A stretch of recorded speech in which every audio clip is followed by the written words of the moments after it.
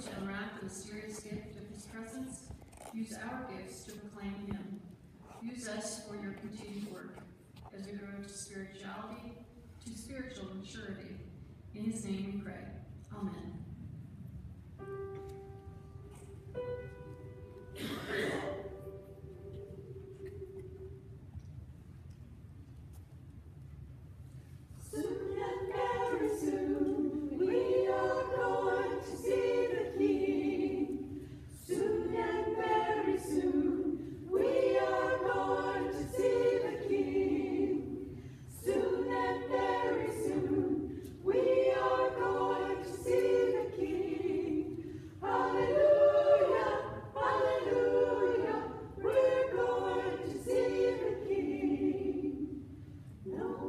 time now.